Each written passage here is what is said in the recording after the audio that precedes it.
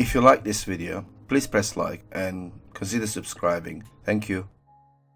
SpaceX has been stealing headlines as of late, and getting that important headline for some has been more of a miss. Lockheed Martin would like to change that, it seems, with the latest proposal to NASA. Lockheed Martin, US aerospace giant, second largest aerospace company in US with number of successful aerospace programs, is yet to propose a successful solo space program beyond its United Launch Alliance commitments.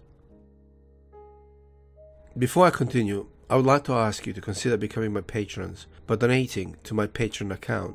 My YouTube channel just got demonetized, and I would like to continue making videos, something many of you here like. But I'd rather maintain full editorial control over my videos on my channel, and for that I need actual supporters. Link for my PayPal account and Patreon account in the description. Thank you.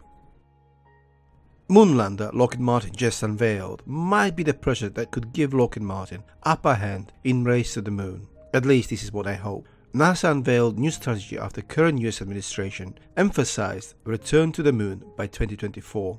Lockheed Martin hopes to win over NASA with its new lunar lander and therefore meet NASA objective by 2024. Lockheed Martin hopes the new lander, somewhat smaller than one unveiled last year, could be ready in less than 5 years the time frame given to NASA by current administration.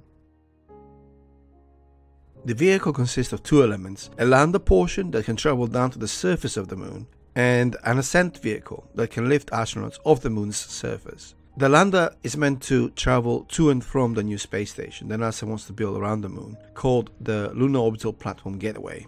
If all these elements are created, astronauts would travel to the gateway from Earth and then take the lander from the station to the moon. The ascent vehicle would then bring them back to the station. Lockheed Martin, however, does note that timeline to finish the lander is very aggressive. As Lockheed Martin is working together with Airbus on Orion service module, it is expected Lockheed Martin will use Orion engines as part of the proposed ascent vehicle. The ascent vehicle will be responsible for transfer of astronauts off the surface of the moon. If current schedule holds, the Orion crew capsule and the service module will have flown together at least twice in space before lander is needed in 2024. An uncrewed Orion capsule is slated to fly by the end of 2020 on a trip around the moon as part of Exploration Mission 1, followed by the crewed mission around the moon in 2022, which is part of Exploration Mission 2. However, all this is dependent on completion of most important aspect of future manned lunar mission, and that is Gateway or LOPG or Lunar Orbital Platform Gateway.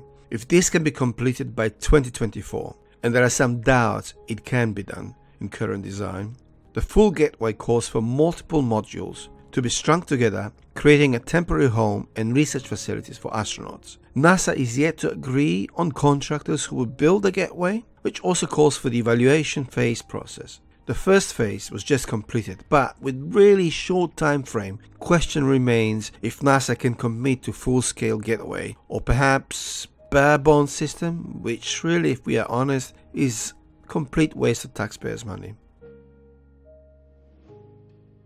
SpaceX is looking to have its own Starship ready by 2024. Would be interesting to see if they'll offer the Starship for the first lunar landings, and if so, can NASA ignore the golden opportunity? This brings another question. Do we really need a lunar orbital platform gateway?